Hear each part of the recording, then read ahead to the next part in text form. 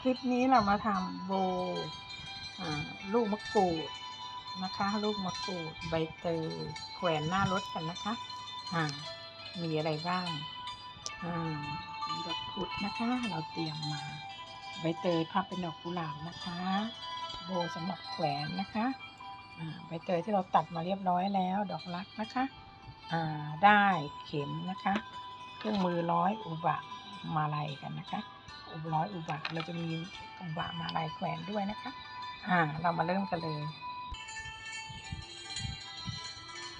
อ่าเราเริ่มทำลูกมะกรูดมานะคะ เราปักดอกบานไม่รู้โรยนะคะ แล้วดอกพุธอ่าการทำดอกพุธแบบนี้นะคะ เราใช้ปลายปลายของใบเตยนะพราะจะอ่อนแล้วเราทิ้งไว้ประมาณหนึ่งวันนะคะ จะไม่หักไม่งอ วิธีม้วนดอกพุธนะคะ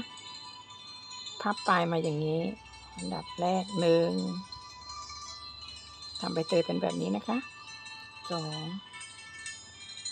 นี่นะคะ การห่อดอกพุธใช้ดอกพุธใหม่ที่มีก้านนะ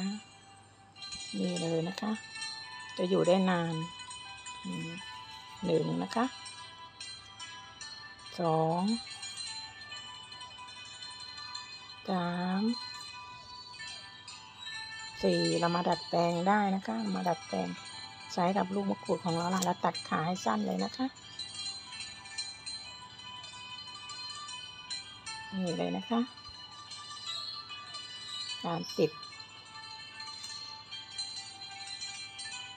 ใช้เข็มล็อกเลยตะปูเข็มนะคะ เพราะว่าตามประสบการณ์มา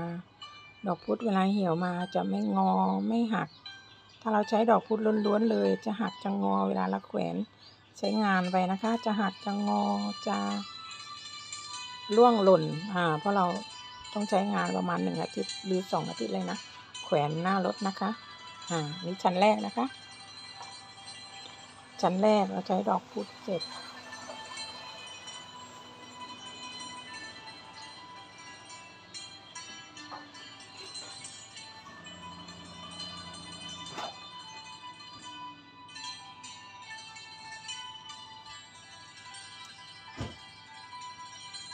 ชั้นที่สอง